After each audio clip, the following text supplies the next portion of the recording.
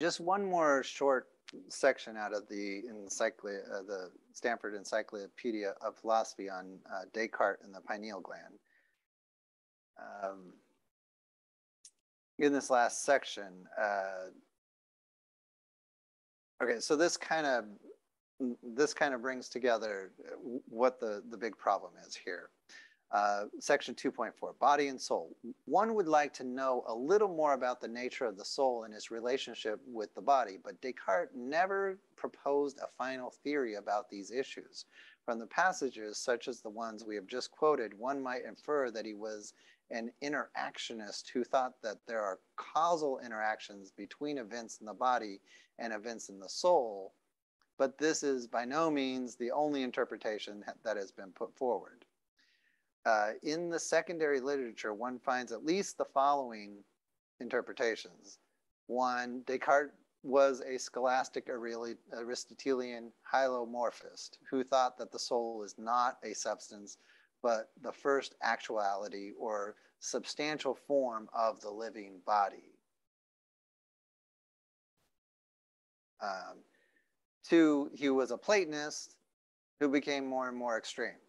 The first stage in Descartes' writing presents a moderate Platonism, and he's quoting here a source. The second, a scholastic Platonism. The third, an extreme Platonism, which following Maritain, uh, we may also call angelism.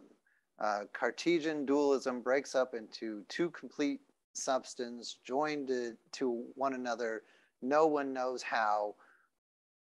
On one uh, on the one hand, the body, which is only geometric extension, on the other, the soul, which is only thought, an angel inhabiting a machine and directing it by means of the pineal gland.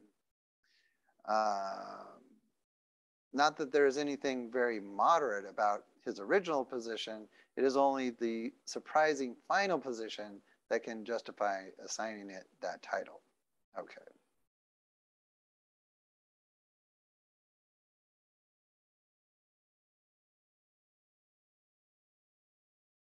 He, three, he uh, articulated or came to close to articulating a trialistic distinction between three primitive categories or notions. Extension, that's the body, thought, the mind, and the union of body and mind. Four, he was a dualistic interactionist who thought that the rational soul and the body have a causal influence on each other this is the interpretation one finds in most undergraduate textbooks. Five, he was a dualist who denied that causal interactions between the body and the mind are possible and therefore defended a parallelism in which changes of definite kinds occur, uh, occurrent in the nerves and brain synchronize with certain mental states correlated with them.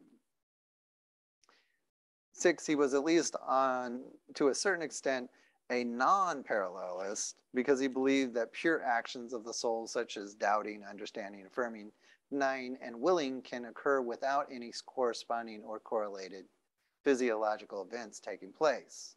The quote, the brain cannot in any way be employed in pure understanding, but only in imagining or perceiving by the senses. Seven, he was a dualistic occasionalist, just like his early follower, uh, followers Cordemoy and La Forge, and thought that mental and physical events are nothing but occasions for God to act and to bring about an event in the other domain. And we saw this uh, out of uh, Arabic philosophy. Uh, and I, I wanted to emphasize it there uh, because, okay, this is one interpretation of uh, Descartes, and then there'll be something similar that, that shows up in uh, in Leibniz, uh, who I want to talk about later.